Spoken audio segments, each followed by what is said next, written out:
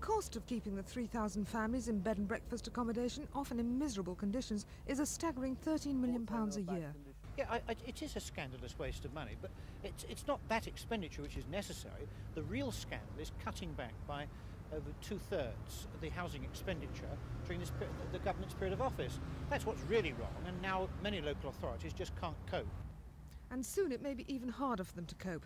The government wants to cut the cost of B&B by reducing the allowance for some tenants by more than a third. In Camden, which has 750 families in hostels, the most of any borough in London, hotel owners there have threatened to throw tenants out if the rents are reduced.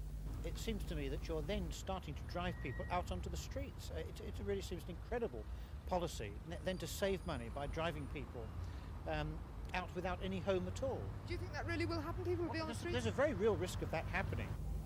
SHAC and Shelter are holding a joint conference this weekend during which B&B tenants will rally to lobby politicians against the cuts.